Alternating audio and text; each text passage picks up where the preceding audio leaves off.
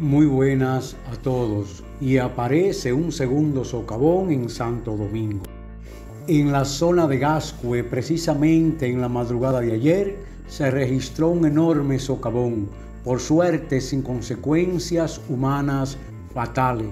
Hasta el momento se desconocen las causas del derrumbe.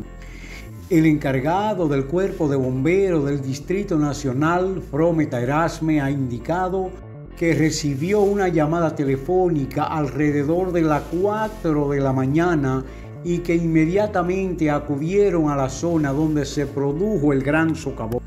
De igual manera, el subdirector del Centro de Operaciones y Emergencia, COE, Edwin Olivares, dijo que por motivos de seguridad y lo profundo del socavón han evacuado los dos edificios adyacentes para prevenir futuro deslizamiento.